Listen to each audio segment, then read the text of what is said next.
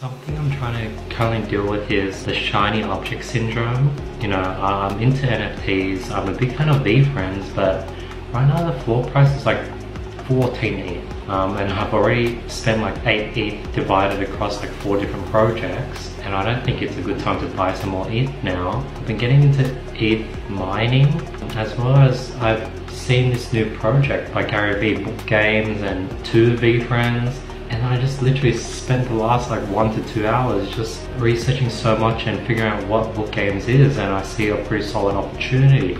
You know, I know that if I put all my time and money and resources into my company, I'll be able to make say 200x return. I know if I put in time and money into Bitcoin mining, crypto mining, I'll probably be able to make like a 10, 20x return because I've really researched that. Now these returns are pretty simple and that's sort of why it's so shiny. It's like I can put all this money that's sitting on the side into these things and it will simply work.